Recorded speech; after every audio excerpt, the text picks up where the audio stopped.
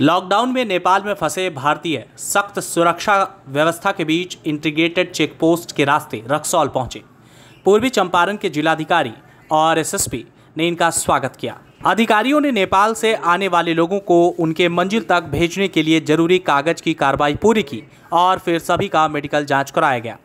लंबे इंतज़ार के बाद वतन की धरती पर पाँव रखते ही सभी के चेहरे खिल उठे और लोगों ने भारत माता के जयकारे भी लगाए।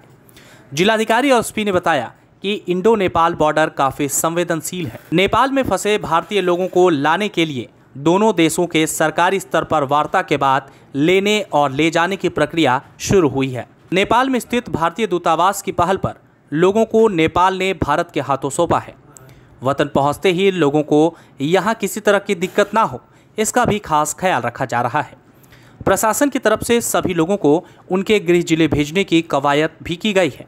जिसके बाद स्थानीय प्रशासन के आदेश के तहत इन्हें क्वारंटाइन रहना पड़ेगा।